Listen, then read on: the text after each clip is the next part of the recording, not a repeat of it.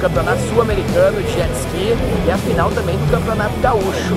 É um clima muito legal, a gente está nesse momento aqui perto do restaurante Caizinho, onde tem essa visão completamente privilegiada, onde a gente pode ver as tendas, os patrocinadores, ao fundo Antônio Augusto Milha também trazendo todos os detalhes e aqui atrás o pessoal passando, o pessoal do Jet passando, já disputando mais uma etapa, vai ser assim durante todo o domingo, foi assim também durante todo o sábado, com destaque também na Rádio Gaúcha, diversos veículos, um campeonato vem conquistando cada vez mais apoiadores. E que a gente tem o prazer e o privilégio de contar essa história para vocês.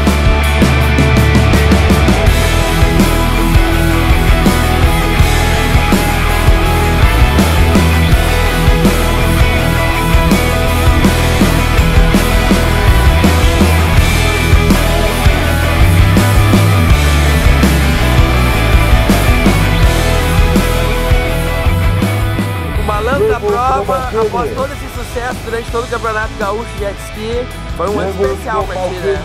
Foi realmente muito bom, só tenho a agradecer a Deus, a minha família que está sempre Depois Diego Coronado. É o meu preparador, né? Mais Diego Coronado. Deixando o jet top. Aí. Mas é o resultado. Como é que é a tua rotina de treinos para chegar nesse nível? Lucas é, Na verdade eu tô me policiando agora para conseguir treinar mais. Eu não tinha muito hábito de treino mas no momento que eu resolvi encarar o jet ski e a diferença, para eu tirar a diferença de competir contra homens, então eu tenho me esforçado bastante, tentando ter uma rotina mais diária na academia. O apoio da família também é fundamental, né? Fundamental, meu marido, Daniel, está sempre junto, minhas filhas, Nicole, Antonella. É isso aí, é o que vale representando as mulheres, né? A gente pode, a gente é capaz. Vamos lá, mulherada. E o balanço sobre essa prova aqui em Guaíba também. Luciano Bom Rende. É, né? A prova ia ser em Porto Alegre. Onde é que tá o Luciano? Não tá no vídeo também, que eu tô relacionado aqui. Tudo de bom, a torcida. Da categoria. Tudo a favor para ter alcançado esse resultado. Para finalizar, um recado para as mulheres que sonham em pilotar, sonham em competir, pensam que não são capazes. É, então aí é a prova de que a gente é capaz, né? Aprendi a andar de jet o ano passado, Estou competindo só com homens e esse ano campeã gaúcho. Não, é muito... muito legal. Vamos lá, mulherada. A gente é capaz. Autoriza lá, diretor.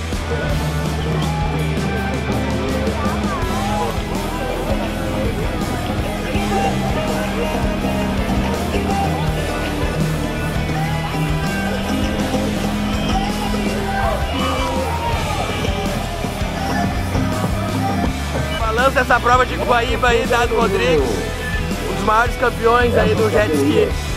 Corre sentado, sem jet. Estamos aí pro segundo dia, segundas baterias, etapa final do Campeonato Gaúcho. Jamais aí. Segunda etapa do Sul-Americano. Ontem, na minha categoria, os maiores vai fechar a primeira volta na ponta. Vai indo, a primeira volta é dele. Vamos brigar pelo título. Hoje temos que chegar primeiro de novo. É isso aí. Rodado, em tua posição sobre agora o acompanhamento de, do Globo Esporte, da grande mídia, vindo mais acompanhar esse esporte tão bacana que tem tantos nomes internacionais. Qual é a tua opinião sobre isso? Cara, esporte é um esporte fantástico, une tanto como pilotos e família. É, não tem por que não ser mais divulgado e mais valorizado pela, não só pela imprensa, mas até mesmo pelos apoiadores. É, olha o dia lindo que temos aí, olha quantos equipamentos. É, esporte é vida, acho que todo o apoio que vier é muito bem-vindo. Agradecemos todos que puderem nos apoiar aí e incentivar para que o esporte cresça cada vez mais. E a tua expectativa para 2019, para a organização dos campeonatos, que tu é um colaborador também, um ajudante aí? 2019 está previsto ter cinco etapas do Gaúcho. A primeira etapa, a previsão é ser no litoral norte, ou em Xangri-Lá, ou em Capão da Canoa e as demais etapas no interior do estado aí e a, grande final provavelmente em Guaíba novamente. Nosso esporte ele é muito competitivo, ainda mais na minha categoria aspirado, nós tem vários pilotos, tem o terceiro campeão do mundo que corre conosco, que é o Dado, tem o João Matheus, que é um baita campeão, ganhou um monte de coisa, tem o Nelinho também, que é campeão mundial. Para mim é uma enorme satisfação correr com eles e e participar de um evento desses. E eu acho que agora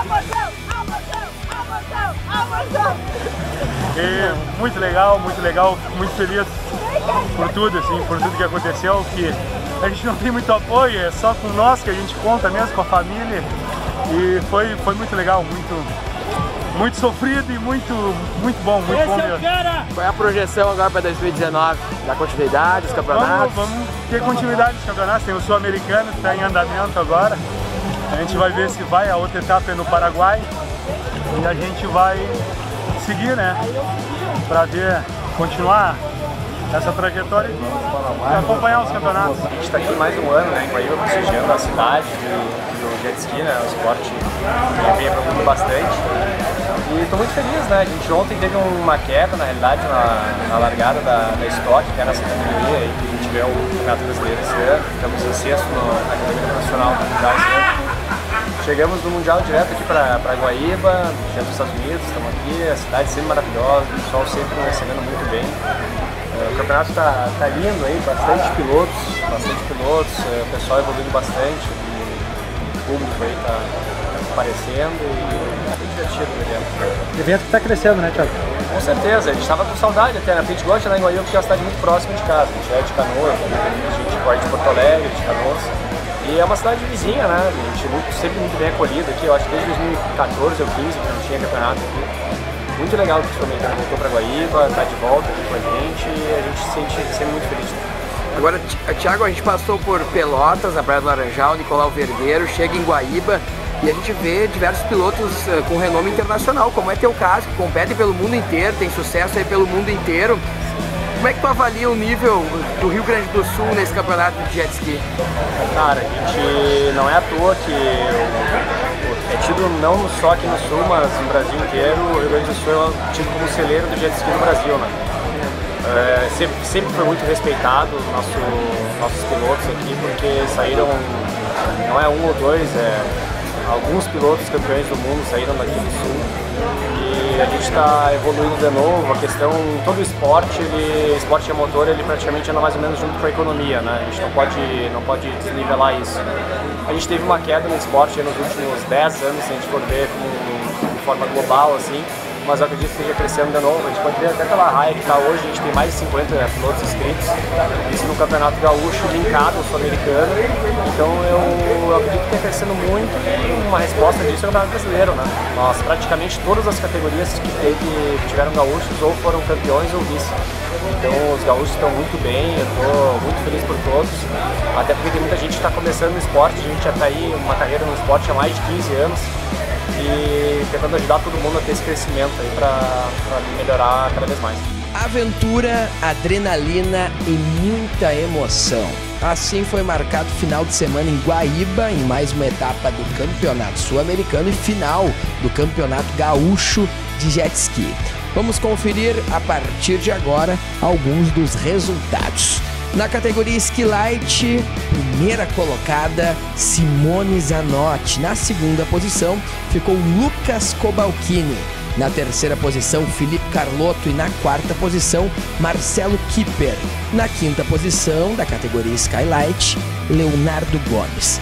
Já na categoria Ski Stock, Christian Taube na primeira colocação. Na segunda posição, Sérgio Gomes. Terceira posição ficou com Rogério Schroeder. Na quarta posição, Simone Zanotti. Na quinta posição, Ademar Fucht Jr. Na categoria Ski Pro Master, primeira posição com Sérgio Gomes. Segunda posição com Rogério Schroeder. Na terceira posição, a menina Simone Zanotti. Na quarta posição, Ademar Fucht Jr. E na quinta posição, Marcelo Kipper. Na categoria Ski Open GP, primeira colocação, Sérgio Gomes. Segunda colocação, Christian Taub. Na terceira posição, Rogério Schroeder. Na quarta posição, Ademar Fuchs Jr. E na quinta colocação, Lucas Cobalcini. Nós tivemos também na categoria Turbo GP, primeira colocação com Jonathan Velay, segunda posição com Thiago Gaitens, terceira posição Leandro Chiatoni, quarta posição Ismael Gaitens, que é o irmão, né, do Thiago, na quinta posição Rodrigo Zotto. É assim ficou a categoria Turbo GP. Na categoria Blaster, Leonardo Zambonin na primeira posição. Segunda colocação ficou com Thiago Thompson. Na terceira posição, Felipe Carlotto. Na quarta posição, Rogério dos Santos. E na quinta posição, Gustavo Azeredo. Também teve uma premiação especial para Maria Helena, com a participação especial. Na categoria Endurance Aspirado, primeira posição ficou com Diego Coronado. Na segunda posição ficou a dupla João Mateus e Lourenço Lumertz. Na terceira posição, Dado Rodrigues e Rogério Schroeder. Na quarta posição, Emerson Carpes e Nélio Azeredo. Na quinta posição, Ângelo Torksen, também justamente nesta categoria, junto com Fuga na Endurance Aspirado. Seguindo para a categoria Turbo Stock Open, primeira posição com Jonathan Velay, na segunda o Ismael Gentens, na terceira Leandro Chiattoni, na quarta posição Edgar e na quinta Jonathan Pérez. Já na categoria Turbo Stock, Primeira posição também com Jonathan Velan, segundo com Ismael Gates, terceira posição Leandro Chiattoni, quarta posição Edgar. E na quinta o Jonathan. Na categoria Turbo Stock Pro, primeira posição Ismael Genten, segunda posição Rodrigo Dotto, na terceira posição Israel Pereira, quarta posição César Martinez. E na quinta Lucas Bianchi. Na categoria Turbo Stock Primeira posição, Luciano Cazon. Segunda, Diego Coronado. Terceira, Ângelo Torkelsen. Quarta, Luciano Vonk. Na categoria do Sul-Americano, 250, Dado Rodrigues, primeiro colocado. Ângelo Torkson na segunda posição. Terceira posição com Thiago Topson. Quarta posição com Nélio Azevedo. E quinta posição com Marco Antônio Regis. Já na categoria sul-americana 160, primeira posição com Jefferson Sampaio, na segunda a menina Helena e na terceira Thiago Topson. E na categoria Endurance Turbo, Jonathan Veloy ficou na primeira posição, Jonathan Pérez na segunda, Leandro Chiattoni na terceira posição, junto com Valnei Chiattoni. Na quarta, a dupla Luciano Cazon e Lucas Bianchi. Na quinta, Rodrigo Dotto, junto com Daniel Tualdo. Movelaria Campos, você planeja, nós executamos. Móveis sob medida para sua casa, trabalho e dia a dia com qualidade e primeira linha. Ambientes que refletem sua personalidade. Quer conhecer mais? Siga nossa página facebook.com barra contato Movelaria Campos. A sua casa vai ficar ainda mais linda com a Movelaria Campos. Melhore sua alimentação e tenha mais qualidade de vida. Marque agora mesmo uma consulta com a nutricionista Letícia Almeida. Agendamentos, ligações pelo WhatsApp 996950725. Chegue no seu peso ideal com saúde e boa alimentação. Procure a nutricionista Letícia Almeida. A padaria e confeitaria Polaquitos agora está de casa nova. Vai ficar localizada na Avenida Assis Brasil, num prédio amplo, atendendo o tapense com o mesmo carinho e com a mesma dedicação. Um novo prédio, mas com o mesmo estilo e o mesmo carinho com os tapenses.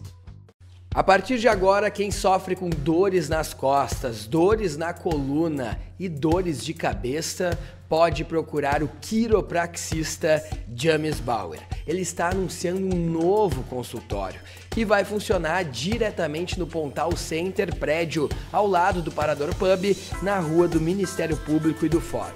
Passe agora mesmo e marque uma consulta, anote o telefone e o WhatsApp 99677 8480.